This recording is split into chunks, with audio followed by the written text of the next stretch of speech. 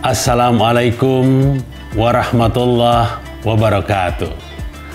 Tak terasa sudah sebulan kita menjalankan ibadah puasa. Menjalankan ibadah-ibadah wajib maupun ibadah-ibadah sunnah.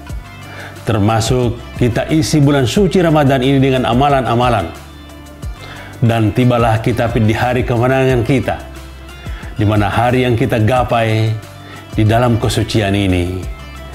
Untuk itu, saya Harto Malik, Wakil Rektor Bidang Perencanaan, Kerjasama dan Sistem Informasi, mengucapkan Selamat Hari Raya Idul Fitri, 1 Sawal 1445 Hijriah.